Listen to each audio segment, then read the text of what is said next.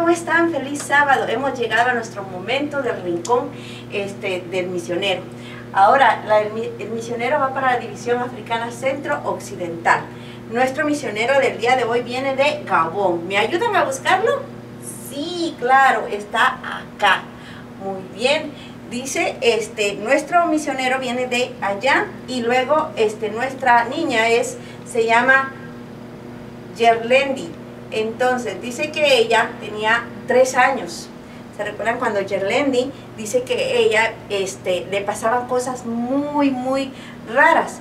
Una vez, cuando ella tenía tres años, dice que ella sentía que sus manitos se quemaban.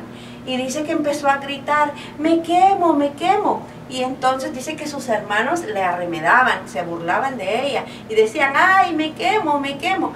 Y entonces dice que ella creció así por varios tiempos. Entonces dice que cada vez que ella este, sentía eso, este, así pasaba tiempo sintiéndose que sus manos se quemaban. Y así como empezaba esa, esa sensación de que se quemaban sus, sus manos, también se iba. Así que de repente desaparecía. Y un día dice que ella este, sentía las ganas de estrangular a su mamá y a, a su papá y a sus hermanos. Entonces ella dice que decía, no, no, y en la noche ella dice que no podía dormir tampoco porque sentía la misma sensación que alguien la, la, la seguía. Una vez dice que ella sentía que alguien la seguía y empezó a correr, a correr desesperadamente y luego dice que había una cerca muy alta, pero ella de un solamente, de un solo salto, dice que saltó esa barda. Y dice que cuando a ella le contaron lo que había pasado, ella decía, no, yo no pude haber saltado esa, esa, esa barda porque era muy alta, yo no lo pude hacer.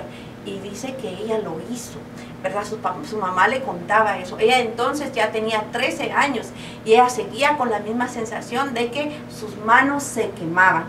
Y una vez su hermana dice que la invitó a la iglesia adventista y entonces las dos fueron, pero dice que ella siempre sentía esa sensación de que se quemaban sus manos. Y entonces a la edad de 14 años dice que ella, este, ¿cómo se llama? Entregó su vida a Dios y entonces dice que desaparecieron tantas cosas que a ella le sucedían. Entonces dice que ya ella ya no padecía de eso. Habló con su papá, su papá estaba muy contento porque ya ella ya no padecía de sus eh, cosas que ella a veces tenía, que se quemaba las manos, que sentía que alguien la seguía y tenía deseo de hacer cosas malas. Pero sabemos que Dios cambió su corazón. Entonces dice que ella fue una niña de paz. Ella este, dice que le pudo comentar a su papá y a su familia de cómo Dios había cambiado su vida. Y entonces todos este, se, se bautizaron. Así que sabemos que Dios hace milagros. Y sabemos que dice ella que la, hace tres años el misionero llegó para ese lugar, a Gabón, donde construyeron una, una escuela.